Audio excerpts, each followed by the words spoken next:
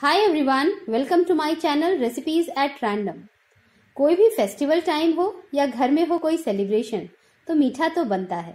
तो चलिए बनाते हैं बालूशाही की सिंपल रेसिपी इसके लिए मैंने ले लिया है ये डेढ़ कप मैदा। और हमें चाहिए घी, ये वन फोर्थ कप जितना घी चाहिए उतना ही मैंने पानी लिया है। दो टेबल स्पून दही ले लिया है half teaspoon baking powder और थोड़ा सा नमक।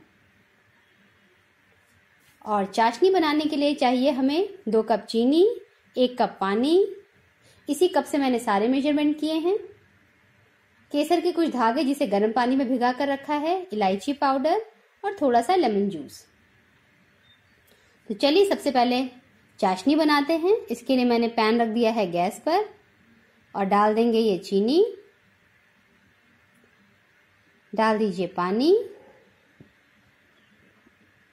और बस चीनी के मेल्ट होते ही इसमें ऐड कर दूँगी मैं केसर के स्ट्रैंड्स इससे बहुत ही अच्छा कलर चाशनी को मिलेगा। और यही कलर बाद में आपकी बालूशाही के ऊपर दिखाई पड़ेगा। ऐड कर दिया है मैंने इलायची पाउडर अब डाल रही हूँ ये लेमन जूस लेमन जूस डालना बहुत ही इंपॉर्टेंट है। इससे शुगर क्रिस्टलाइज नहीं होगी। कभी कभी आपने देखा होगा बालूशाही के ऊपर चीनी वाइट वाइट सी दिखाई पड़ती है। तो अगर आप लेमन जूस डाल देंगे तो इससे वो चीज़ नहीं होगी। और बस देखिए, चाशनी को बहुत ज़्यादा हमें एक तार या दो तार का नहीं बनाना है। जैसे आप गुलाब जामुन की चाशनी बनाते हैं, हल्की सी स्टिकी बस वैसी ही चाशनी बनानी है। और ये देखिए, हो गई है, गैस मैंने ऑफ़ कर दी है। अब इसे रख देंगे साइड में और बना लेते हैं डो ले लिया है मैंने एक बोल, रख दी है छन्नी। सबसे पहले हम मैदा को छान लेंगे। साथ में हम डाल लेंगे इसमें बेकिंग पाउडर सॉल्ट इसे छान लीजिए।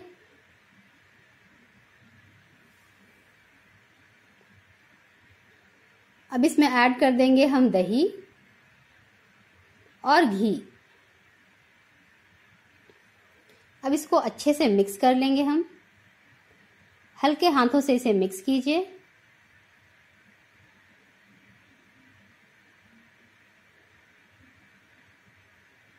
अब पानी लेकर थोड़ा थोड़ा पानी ऐड करके इसको आपस में कंबाइन कर लेंगे। इसे हमें जैसे आप रोटी के लिए डो बनाते हैं, वैसा बिल्कुल नहीं बनाना है। बस खाली इसको आपको ऐसा रखना है कि आपस में पूरी मैदा कंबाइन हो जाए। सॉफ्ट डो हमें बिल्कुल नहीं चाहिए, वरना आपकी बालूशाही में फ्लेक्स नहीं आएँगे अंदर से। और देखिए, डो आपस में कंबाइन हो गया है, और इसे हम 15 मिनट के लिए ऐसे ही छोड़ देंगे। बस इसे छोड़ दीजिए 15 मिनट्स के लिए। और ये देखिए 15 मिनट्स हो गए हैं तो चलिए।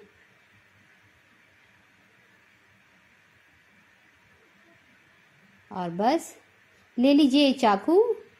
या कोई पिज़्ज़ा कटर, इसे डो को बार बार काट करके आपस में ज्वाइन करते रहिए। ऐसा तीन से चार बार या पाँच बार आप कर सकते हैं। इससे बालूशाही में बहुत अच्छी लेयर्स आएँगी।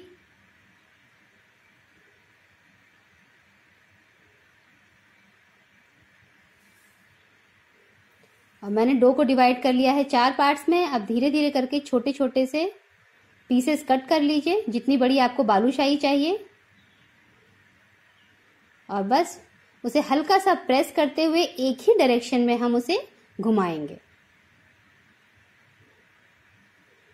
और बस इसमें ऐसे हल्का सा प्रेस करते हुए बीच से एक छेद कर दीजिए और इस तरीके से सारी बालूशाही को रेडी कर लीजिए।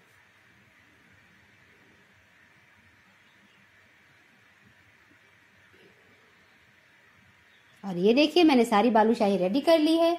गैस पे मैंने रख दिया है एक पैन, जिसमें डाल दिया है ऑयल। ऑयल गर्म हो रहा है और ये देखिए छोटा सा मैंने पीस एक आटे का डालकर देख लिया था। जैसे ही वो ऊपर आ जाएगा, इसका मतलब ऑयल का टेम्परेचर ठीक है।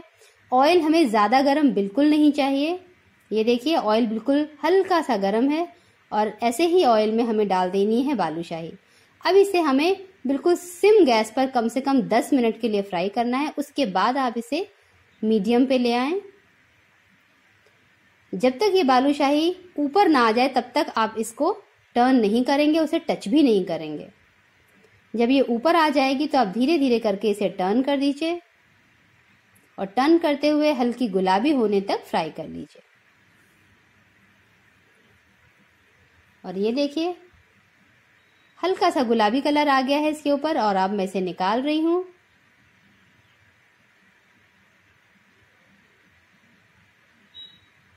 धीरे धीरे करके इसे निकाल लीजिए। इस समय ये बहुत ही सॉफ्ट है।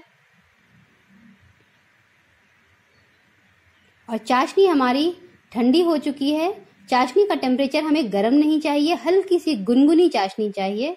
ना बिल्कुल ठंडी भी नहीं होनी चाहिए। अगर बिल्कुल ठंडी हो जाए तो हल्की सी गुनगुनी कर लीजिए और एक गरम गरम बालूशाही इसमें इस तरीके से रख दीजिए। दो मिनट के लिए इसे एक साइड से छोड़ें। उसके बाद इस तरीके से धीरे से टर्न कर दीजिए।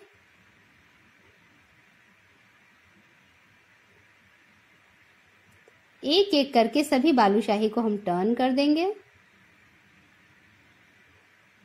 और बस इस तरफ़ से भी दो मिनट के लिए छोड़ दीजिए। इससे बालूशाही चाशनी को अपने अंदर एब्जॉर्ब कर लेगी। और बस एक तरफ़ से आप दो मिनट तक ही छोड़ेंगे, वरना बालूशाही सौगी हो जाएगी। इन छोटी छोटी बातों का अगर आप ध्यान रखेंगे तो आपकी बालूशाही बहुत ही अच्छी बनेगी। ये अंदर से जूसी होगी और बाहर से खस्ता।